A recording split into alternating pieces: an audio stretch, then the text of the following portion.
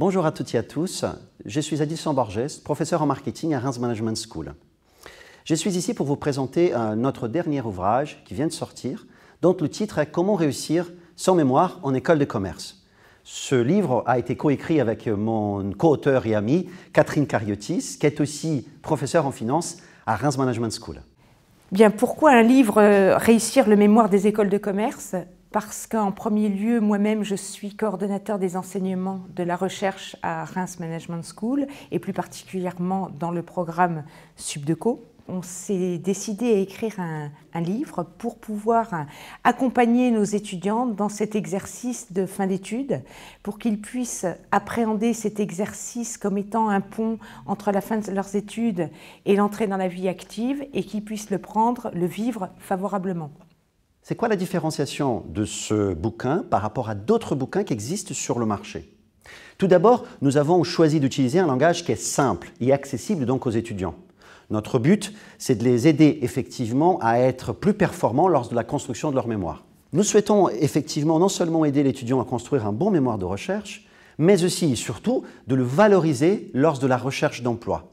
Car aujourd'hui, euh, pour pouvoir construire sa différenciation sur le marché, un des éléments clés, c'est de pouvoir dire en quoi, dans la formation de l'étudiant, il a construit des savoir-faire et des savoir-être qui peuvent lui permettre d'être euh, plus pertinent, plus percutant sur le marché du travail. Notre bouquin n'essaye pas de rentrer sur ces méthodes, mais plutôt de donner un aperçu global de toutes les étapes euh, qui sont pertinentes pour la construction d'un bon mémoire de recherche.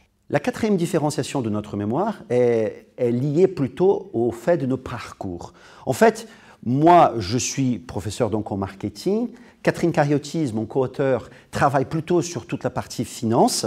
Euh, et en plus, nous avons tous les deux interviewé des professeurs en ressources humaines, en management, en stratégie, ce qui nous a permis d'avoir un ensemble d'exemples euh, qui permet d'illustrer chacun de nos propos tout au long de cet ouvrage. Cet ouvrage donc est composé de sept chapitres. Le premier chapitre est quel est l'intérêt de faire son mémoire, donc de sensibiliser les étudiants à l'intérêt de ce mémoire en question, pourquoi écrire et à quoi correspond ce mémoire en école de commerce? Deuxième chapitre, en quoi consiste la recherche en gestion? Avec les notions d'épistémologie et une ébauche de ce qu'est une problématique.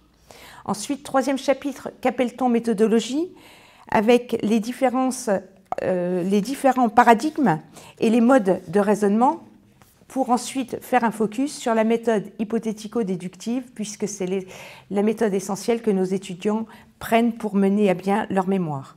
Quatrième chapitre, comment affiner une problématique Donc, qu'est-ce qu'on appelle sujet Qu'est-ce qu'on appelle problématique Et quels sont les objectifs du mémoire avec l'objectif principal d'une part, les objectifs spécifiques d'autre part.